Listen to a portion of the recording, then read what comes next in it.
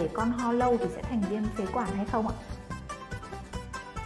Ho lâu thì vấn đề nhất là phải biết được rằng là ho là do cái gì.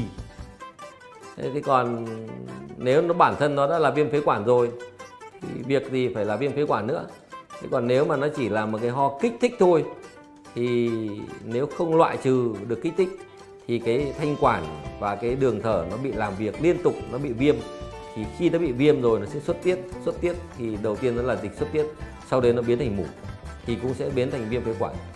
Nhưng vấn đề quan đầu tiên quan trọng nhất đấy là ho vì cái gì? Vì sao lại ho?